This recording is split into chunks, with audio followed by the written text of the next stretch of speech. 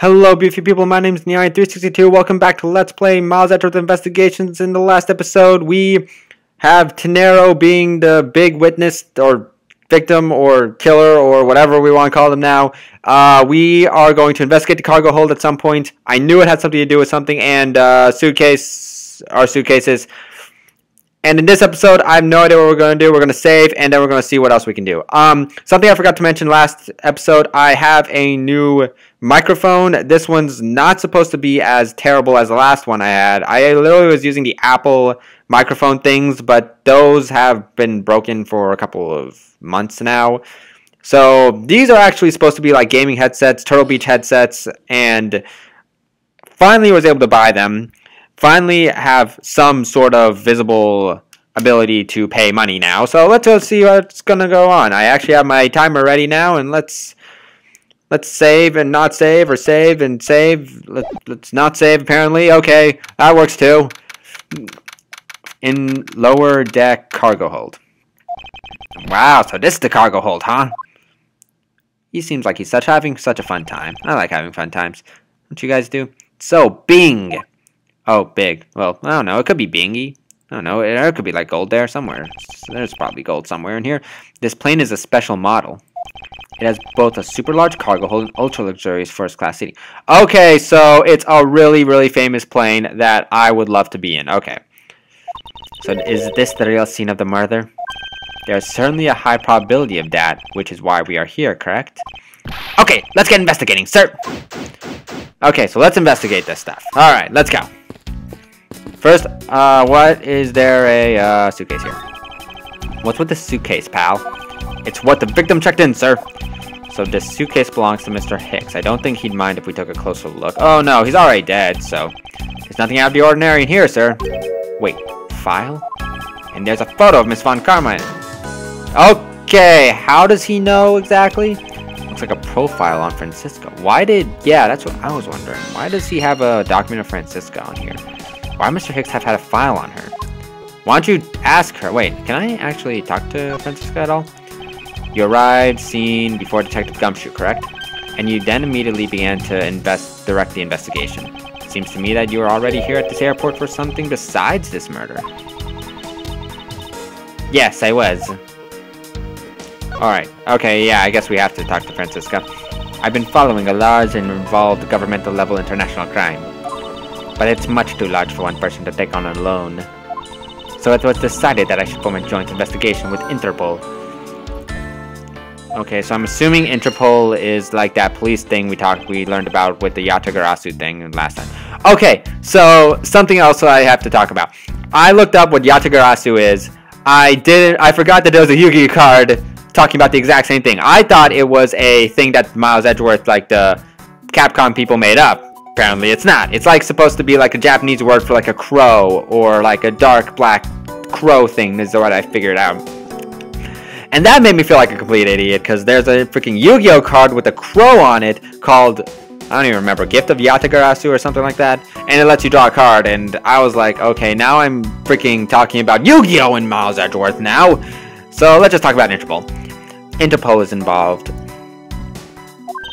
It's a top secret operation, so I can't really tell you any more than I already have. Okay, so I want to present...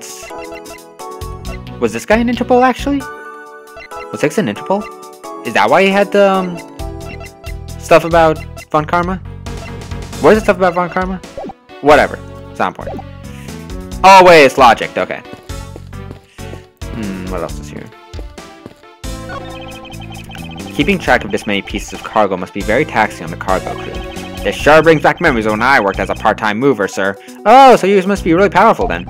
By the look in his eyes, he's waiting for me to ask about the rest of his story. But no matter how he pours on his puppy eyes, I have no intention of doing so. Dang, dude. I would like to wonder how Gumshoe was a mover from a freaking detective.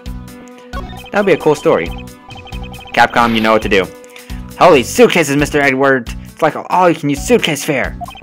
These must be all the leftover ones they couldn't sell. The ones that company is planning to dispose of after the flight is over. Paint job is really cool, don't you think? It practically screams artsy! I, I would say more hideous. Oh, why not purchase one then? I'm sure it will bring you much happiness. you think so? Then maybe I will. Let's see here. 1200!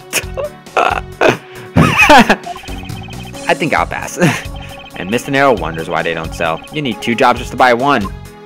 Then again, this freaking airport, you know, hmm, it definitely looks like one is missing. What is this brittle substance I'm stepping on? It's a bunch of glass fragments? Wait a minute! Wait a minute, I noticed something.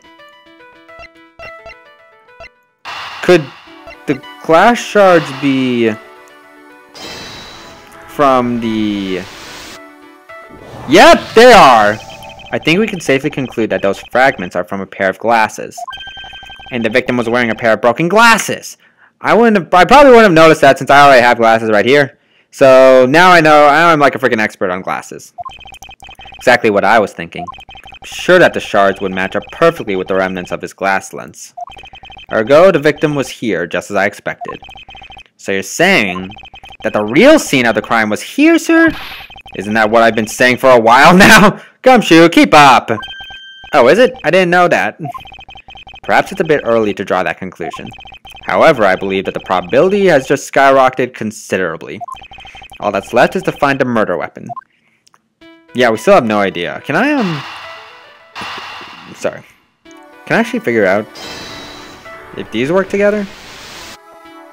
Yep, I had a feeling. Now, why would Mr. Hicks have a document profiling Franziska? Oh, I know. I bet he's a big fan of Miss Von Karma. Who would be a fan of a whip? Actually, I would probably be a fan of a whip-loving prosecutor. We won't forget I ever said that. Franziska said that she had come to this airport as part of an Interpol investigation. Oh, maybe Mr. Hicks had heard she was coming here and he followed her. Detective, I think it's more likely that Mr. Hicks was, in fact, an actuality, Interpol agent Hicks. Ooh. Yeah. I just noticed that I didn't have to do the stupid counter for a while. That's a good thing. I think Franziska had some explaining to do. You have some explaining to do. At least I think that's how the I Love Lucy thing went. I haven't watched... I had to watch, um, freaking I Love Lucy for freaking home ec class. I have no idea why I had to do that. It was, like, not even a thing. It kind of reminded me of, like, the Drake and Josh episode where they had to, like, package sushi and stuff. Anyway, I'm deviating from like everything whatsoever. So let's learn about the truth. You came to this airport to rendezvous with the victim, didn't you? Nonsense! What are you talking about? We found a profile detailing information about you and the victim's luggage. I'm pretty sure if I was Franziska, I would like take that profile considering it has my name on it.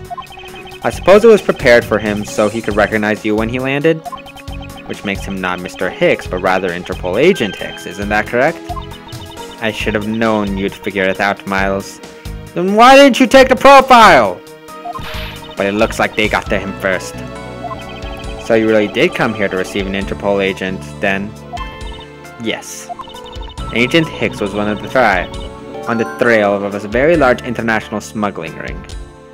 Isn't that what the Yatagarasu are? No, wait, those are thieves. Are they thieves or smugglers? I don't remember, I have to watch my videos again. He went undercover to investigate this crime and it was I who put him on this case. I was supposed to receive a call from him on his cell phone once he had landed. Oh, is that why he was talking about his cell phone so much? I think everything's coming together soon. I never expected to receive a call about his murder instead. Hmm. I think we now have definite evidence that Agent Hicks came down here to the cargo hold. But what was he doing down here, sir? There's nothing but luggage. Oh, I get it. Maybe he forgot something in his suitcase and came down to get it. He couldn't have done that, though! that works, too! Agent Hicks came here for a work-related reason. Of that I am sure. Yes, I'm sure he was here to investigate the smuggling operation he was observing. Franziska, do you know exactly how he intended to pursue his investigation? No. Unfortunately, I was going to find out that from him after he landed. I see. But this raises another question. Normal passenger can't access the cargo hold on their own. That's what I was wondering. So that makes Gumshoe being an idiot. An idiot. Agent Hicks must have identified himself to a member of the crew and entered the cargo hold with that person who let him in. So whoever that crew member was killed him! But we don't know who the crew member was, and it looks like Teneiro was a crew member. Yes, and then he was murdered here. These glass fragments and his broken glasses are a testament to that. And then... The killer put Agent Hicks into one of the spare suitcases and... They entered the elevator, but while they were riding it up... The turbulence happened! Because of the intense shaking, the suitcase popped open and Agent Hicks' body flew out. At the same time, his wallet fell out of his pocket, spilling its contents everywhere. Which explains why there was money scattered all over the elevator floor. Well, that's you good enough, but we still haven't proven that Teneiro wasn't the one who did that. I think it's pretty easy to say who the culprit is at this stage. What? Really, sir? I like how he calls um, Von Karma, sir. Just makes me feel like Gumshoe is just more of an idiot than he really is. I know what you're thinking, Miles Edgeworth. But the killer can be none other than Miss Rhoda Teneiro. Oh boy, yay! This is what I want to see. If it was a crew member, any of them could have shown Agent Hicks to the cargo hold. But the point to keep in mind is the keycard that allows the elevator to come down here. The only person with such a high-level access is Miss Rhoda Teneiro. I'd say that's a pretty decisive piece of information, wouldn't you? But Teneiro lost it, right? I know what she's trying to say, but I'm not certain it's as simple as that. Hmm. Alright, so I have no idea what I'm gonna hit. Hmm.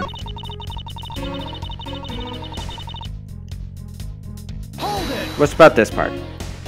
But it's highly likely the keycard was stolen. It's highly likely? Is that possibility the best you can come up with? And you call yourself a disciple of my father. Thanks! Yes, well, while I don't have any evidence, I be quiet! You're a disgrace! There's more evidence pointing to Mr. Teneiro, you know. It's not just a keycard that gives her away. Are you talking about the murder weapon, the iFly piggy bank? Yes, she's also the only person with the key to open that display case. Okay, I guess that makes sense then. There's the matter of the key. Oh, uh, this part wasn't there before. But that is a fake. Stop right there, Miles Oh, the music stopped. You don't have any proof that this is just a red herring? If you keep on insisting that's a fake, then what is the real murder weapon and where did it go? Oh yeah, we have no idea where it went. Speechless, I see. That's not a surprise. After all, you know that we've searched the entire cargo hold and came up empty-handed. There must be a way. There must be something that can help you rule out the piggy bank as the murder weapon. What should be examined further helps ascertain the authenticity of the weapon. Okay, so um, I guess I'm pretty sure it might be the body, but we'll figure out next episode because I'm running out of time. So this is Niani362 welcoming you to this thing which I'm ending right now. So I hope to see you next time. This Niani362 signing off.